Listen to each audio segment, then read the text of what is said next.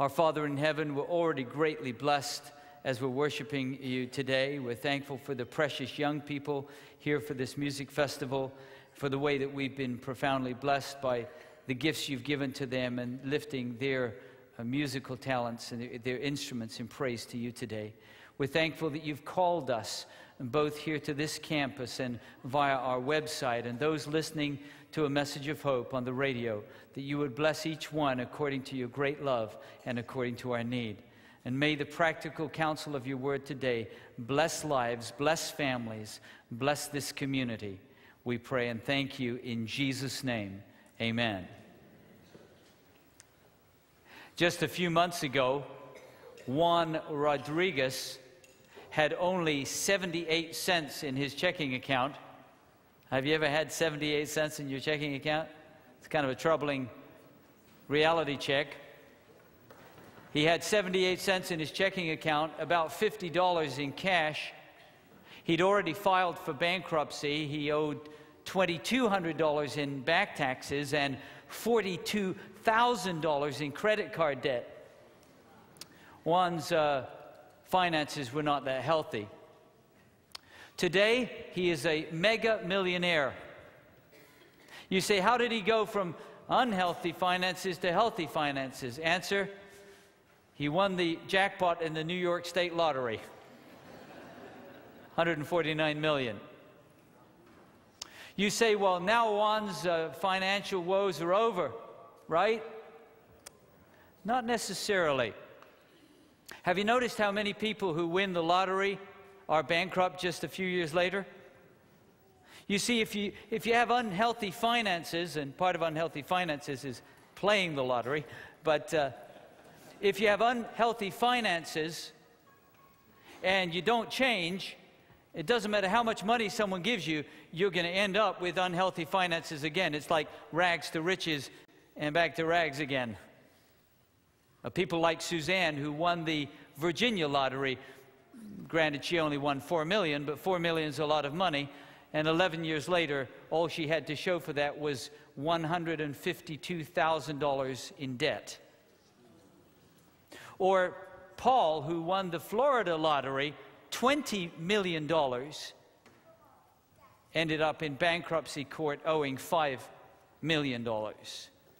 That was two wives, five houses, 12 cars and motorcycles, and a failed business later. The lesson is obvious.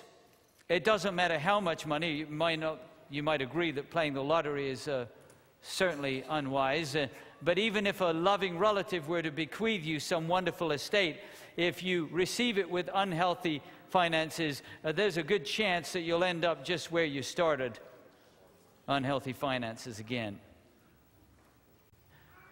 So, today, as we continue our study of what it means to be a healthy Christian, we want to talk about a crucial topic healthy finances. And if you were not with us for the past two messages in this series, I want to encourage you to go to our website at forestlakechurch.org or get a CD of the messages. I think the first message was crucially important, at least it is for me and that is looking for a healthy lifestyle. I think you'll find principles there that will help you. And what a blessing last week when our teenagers helped us to give us a reality check about our families and how we need balance there if we're going to be healthy. But today, healthy finances, and I want you to take your Bible now, and if you would like to take notes, on the back of the bulletin insert, you'll find five principles, at least you'll find five lines to write, five principles for healthy finances. We want to take those right from the Word of God. I had someone after first service who I respect greatly as a man of great uh, wisdom with finances. He said, uh, That was right on. I said, Thank you. It was right out of the Bible. so you may want to take notes. These principles could change your family, they could change your life. They could enable you to be a greater blessing to those around you as part of being a healthy Christian. So let's start with the first principle, and I'm going to share some text. Some of them you'll have time to look at with me, and some you may just want to write down. But I'd like you to begin by looking in your Bibles at James 1 and verse 17 as I give you the first principle for healthy finances. James 1 and verse 17. You know this text, but it is a foundational text as we begin today. James 1 and verse 17. My Bible says, Every good and perfect gift is from where? It's from above, from the Father of lights, with whom there are no variation or shadow of turning. James tells us, under the inspiration of the Spirit, that every gift we have comes from above. So before we start talking about the nuts and bolts, if you will, of finances, let's remember there's much more than finances here. The very fact that you're breathing today, that you have life, is a gift from our Creator God. Is that right? The fact that you have an eternal hope through Jesus Christ, His Son, that's, that's a gift from above, isn't that right? So just talking about finances without looking at the big picture uh, is, is inadequate. But part of being a healthy Christian is having healthy finances and recognizing that everything, every blessing comes from above. With that in mind, here's the first principle, if you'd like to write it down, and then a text to write down. If every gift comes from above, every blessing, including financial blessings, first principle for healthy finances is this put God first in your finances. You say, Derek, where do you get that from? Write this text down Proverbs chapter 3 and verse 9.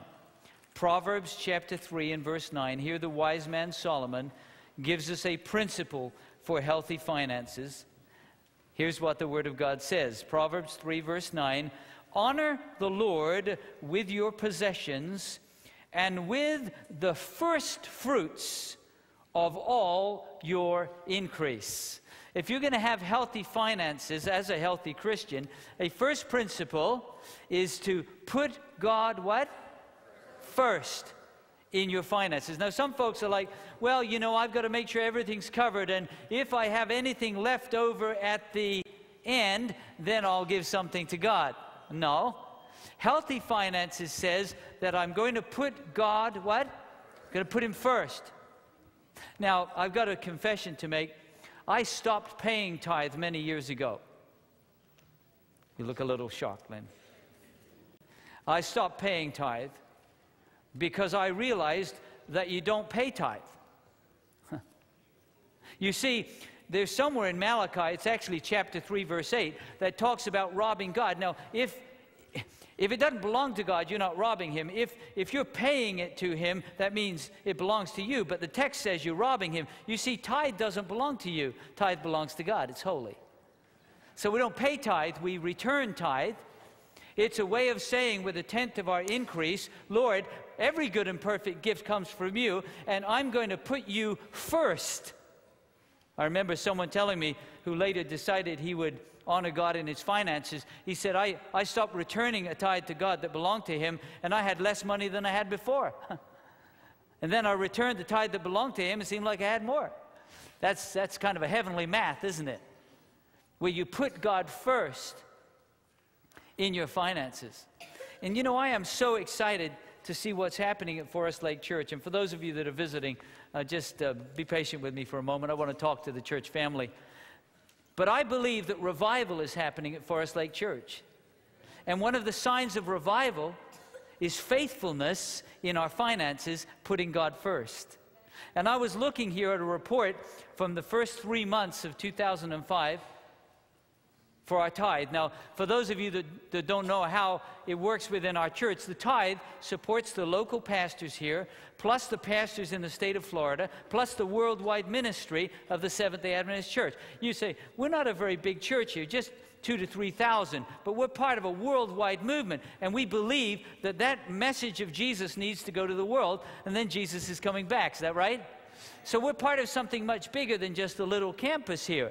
And tithe is a way of putting God first so that that work can go forward. I was reading the report. I don't know if we have any of our finance people here, but for the first three months of 2005 compared to the first three months of 2004, we had a 27% tithe increase.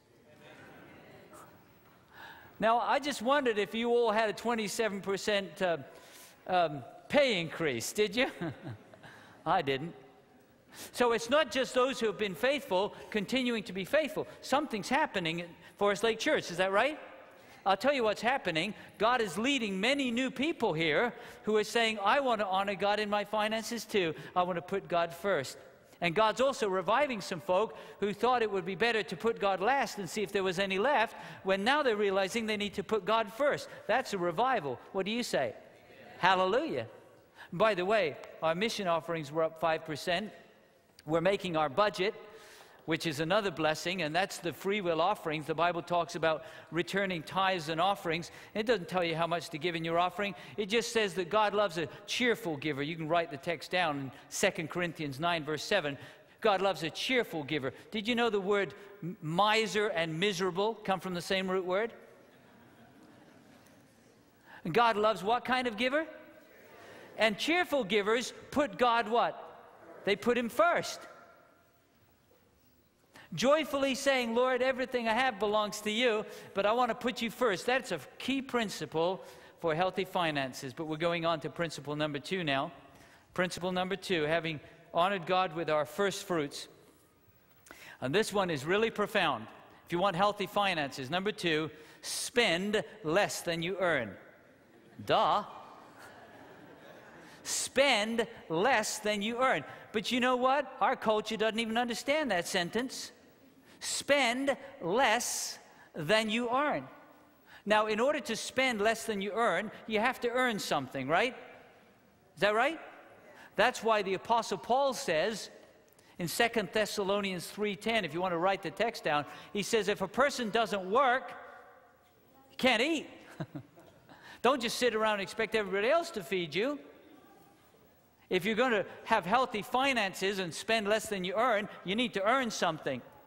I was at a home improvement store just uh, in the last uh, couple of weeks, and a very friendly checkout person, uh, gentleman, smile on his face. He said, Did you find everything you need? I says, Yes, thank you. He's ringing up my purchases, and as he's putting them in the bag and I'm putting the bag into my shopping cart, I noticed that he only has one arm. The other, oh, I had two arms, but one was just kind of dangling, kind of not functional by his side. But he was smiling and he was cheerful. He was one of the nicest checkout people I'd ever met. He gave me a, a, a, receipt for my purchases and he said, You can fill out an online survey. So I did. I went online and I told them what a great checkout person I had. It also made me eligible for a $5,000 gift card. Um, but but I told him when I filled it out, I said, What a great person. You know, he could have been sitting around going, Oh, well, life's hard and I can't get it. Have you noticed a lot of people? Now, I'm sorry if I offend anybody. I'm sorry because I know there are extenuating circumstances, and sometimes you're in a job transition and you have to wait patiently for God to give you exactly what He wants you to do. So, so don't be offended. I'm talking about the folks who, ha- who, who, who, wait there at the, uh, when you pull off the ramp, you know, out of work and want your money, and yet I drive right by and then there's the signs helpers needed, work needed, hiring, can't figure it out. But if you're going to follow this second principle of spending less than you earn, you have to earn something. But once you've earned it, you've got to spend less than you earn, which means here's the B word, which means you need to have a you need to have a budget. Now, some of you say, Derek, I don't believe in a budget. Well, all of you have a budget if you have healthy finances. It means you know you can't spend $4,000 a month eating out if you only make 3000 a month even if you've just got general categories, because the goal is that you don't end up with month left at the end of the money. Some of you get that? You're supposed to end up with money left at the end of the month, but some folks, if they spend more than they earn, they end up with month left at the end of the money. So if you find yourself in that dilemma, you need a budget. And we'll talk about that in Principle 5. There's some things that will help you. This is not rocket science, folks. You just can't spend more than you earn and have healthy finances. We're not just talking about wanting to be wealthy, we're talking about honoring God as healthy Christians. Are you with me so far? First two principles put God what? First in your finances, and secondly, spend less than you earn. which brings me to principle number three. This also is a biblical principle that I want to share with you. A biblical principle. Save, thirdly, save a portion of your increase. Look at the wise man again, Proverbs 6, verses 6 through 8. Save a portion of your increase. This is what it says Go to the ant, you sluggard. Consider her ways and be wise, which having no captain, overseer, or ruler, listen now, verse 8 of Proverbs 6, provides her supplies in the summer. That's easy, there's plenty to eat in the summer. But notice the second half of verse 8 of Proverbs 6 and gathers her food in the harvest. I want you to notice a principle that even ants understand. And that is, and by the way, I hope you can understand this even if though you live in Florida, that after the harvest comes which season of the year? See, you don't know. You got to come from the north. There's a, there is a season up north called winter. Okay? Some of you know about winter. Winter comes after the harvest. And the ant knows, follow me now, that unless you save a portion of your increase, when you come to the winter season, when you come to the difficult time, you will have no resources available. Are you following? So, saving a portion of your increase enables you to have healthy finances even when you enter into the winter time when times are difficult. When I was a young man, someone gave me three cassette tapes, and they were entitled The Richest Man in Babylon.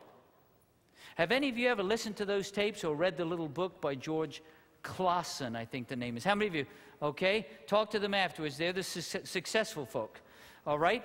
There are principles in that simple story that were a huge blessing to me. It's just a story, but you could play it for your children and they would learn powerful principles of sound financial management. One of the things the character in this story learned was if you spend everything that you earned, where are you when you're done? You're right back where you started, right? So if you have a job and you have to spend less than you earn to have healthy finances, but if you spend it all, you're right back. So you ought to save. And then let that be working for you while you continue to work. Well, that's a wonderful insight, which I think perhaps some of our grandparents understood better than folks in our culture today. that you put your increase to work in savings. Now, in the story of the richest man in Babylon, uh, the fellow had a lesson to learn because you have to save it in a safe and uh, wise place. We'll talk about that in principle number five. But he gave it to a man going to Tyre and asked him to buy some precious stones. He thought that would be a good investment. The only problem was the man who went to Tyre didn't know anything about precious stones. good investment? Wrong. The man came back with worthless rocks, and he was back where he started. That's a problem. But here, if we will put away a portion of our increase, save a portion of it, and we want to do it wisely, and we'll talk about that in Principle 5. We won't always end back where we started, but we will be in a more secure situation. All right? Principle number four. Principle number four for healthy finances. What do we have so far? So far, put God first in your finances.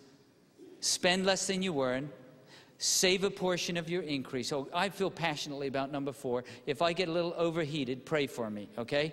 But I feel really passionate about this.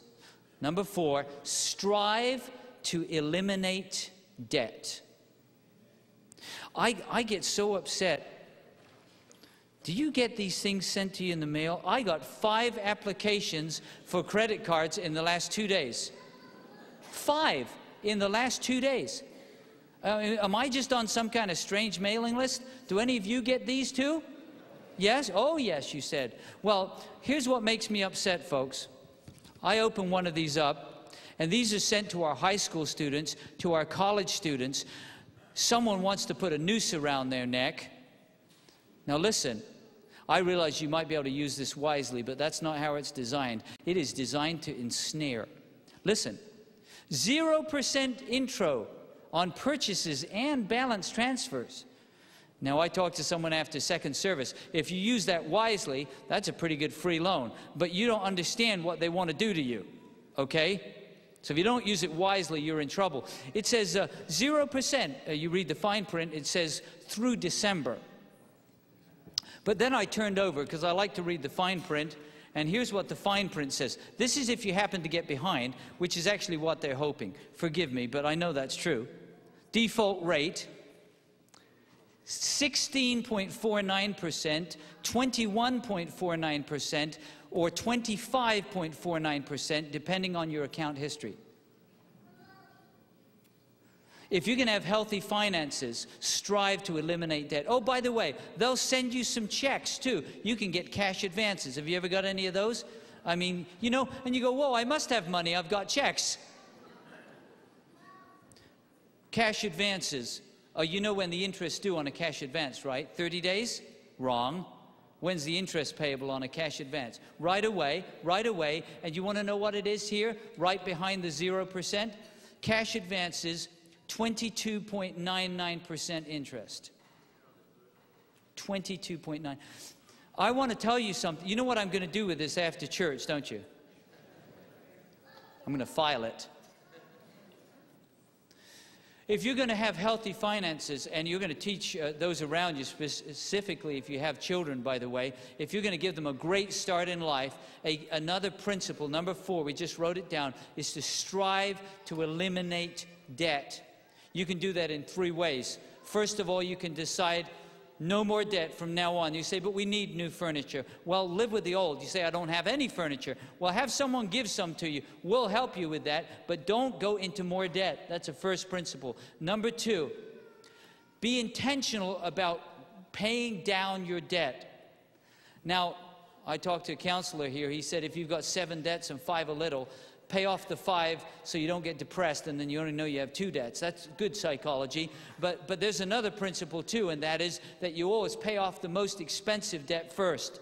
So if you have a school loan at 4% and you have a credit card at 22%, guess which one you want to pay down quickly? You don't have to be brilliant, you just have to have a plan. And the ultimate goal, step three, is to set a date that you want to be debt free. Now, it's interesting, isn't it? How you get a pay increase and you think about what else you can buy. You haven't even got your tax refund, and the furniture store is telling you how to buy it, something, right? But you know, if you say to yourself, even if it's by the time I retire, I want to be debt free, I want my house paid off. We have some young friends, they're now in their mid 30s successful professional. They could be living in a mansion and driving very expensive cars, but they said, by our mid 30s, we want to be debt free. They live in a modest home, they drive modest cars, they take modest vacations, and in their mid 30s, they're debt free. You know why that's so important? Write it down Proverbs 22, verse 7. You know why? Because it says the borrower, Proverbs 22, verse 7, the borrower is servant to the lender. And if you don't want to be in bondage, it's a wonderful goal to set for yourself, and you can start even this week to say, by the grace of God, I'm going to have healthy finances. I have a goal to be debt free. So I don't have to be a servant to the lender. Have you noticed the credit card companies and the banks have very nice buildings? Huh? You know, they're not like in little mobile homes, are they? Because they're taking all of the money. Now, some of you say, Derek, now be realistic, you know, uh, taking out a mortgage, that's, that's not, that's a debt, but it's very, it's not a consumer purchase, it's an investment. And I'd have to agree there are times, and even a student loan, if it's done wisely, if you follow principle five, which I'm coming to in just a moment, that may be sound practice. But may I remind you, remind you that the word mortgage and the word mortuary come from the same root word. It's the word death. Okay? So, just because you're saying, well, I'm getting a mortgage, if you haven't followed step five, you could still be digging a hole for yourself, as some of us have learned the hard way. So, the goal,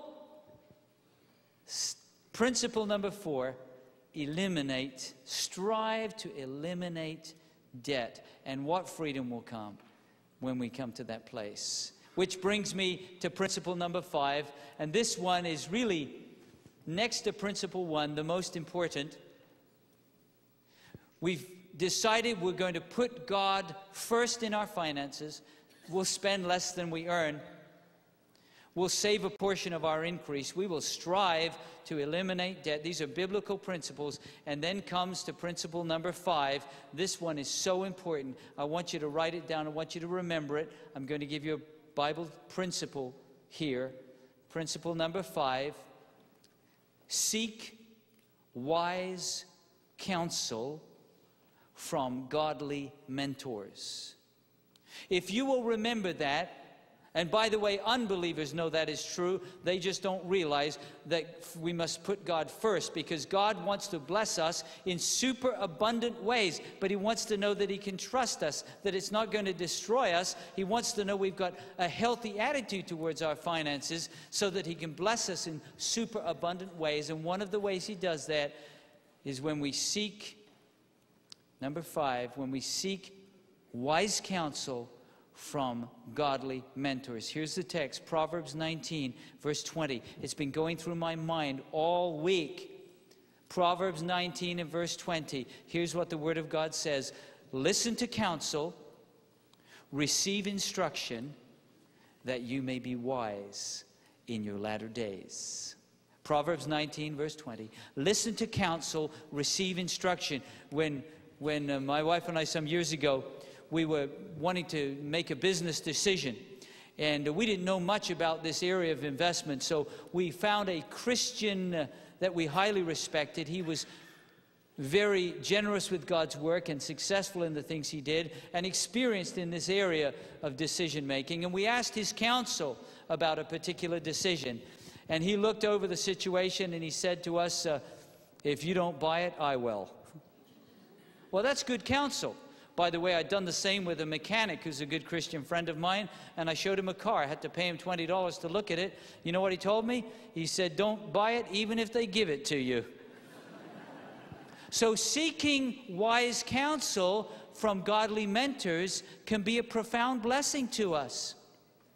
If we'll listen to counsel and receive instruction, that we may be wise in our latter days. But I want to, you say, Derek, what's this all about now? Just reframe it for me. Simply this God wants to bless us in super abundant ways. He doesn't want us to just win the lottery and then be back in bankruptcy court a few years later. By the way, the, one of the worst ways to invest is the lottery. You know that, don't you? If you know anything about odds, it's a terrible way to invest. We want to learn healthy financial principles. We want to know that God can bless us in superabundant ways, just as he says in Malachi 3. We put him first. It's not just finances, but it's that too. Why? So that as we listen to wise counsel, we make wise decisions, we're able to give more away. We're able to bless more people. We're able to live more stress free lives. Doesn't that sound wonderful?